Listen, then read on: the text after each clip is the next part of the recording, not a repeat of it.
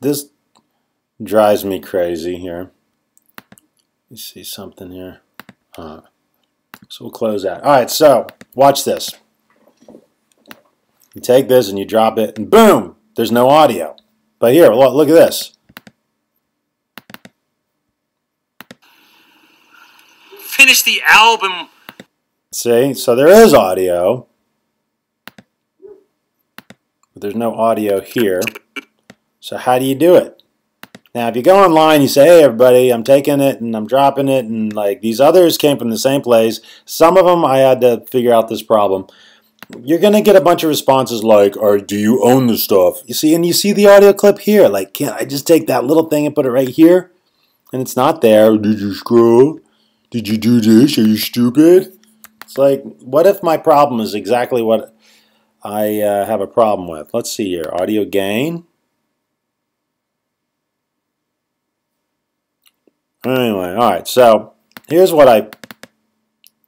This is weird, man. I mean, like, try to cut. Cut. Let's see if I can. Can you can you cut it? Can you? I mean, like, you can do this. You copy, and then come over here and then paste. Doesn't work. All right. So here we go. Here we go. Here's what I found. All right. Control click. New sequence from clip. Boom. Look. There it is. Do something. Do something you're good at. See? Okay. And then copy. And then come over here. Face face. That's all you gotta do.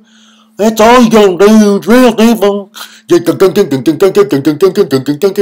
then you come over here and play chess and, and then go over here and check your I mean like it's just it just drives me nuts, man.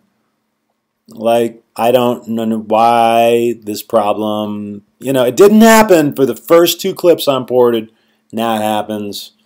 That's the only way I have found to do it. I did it.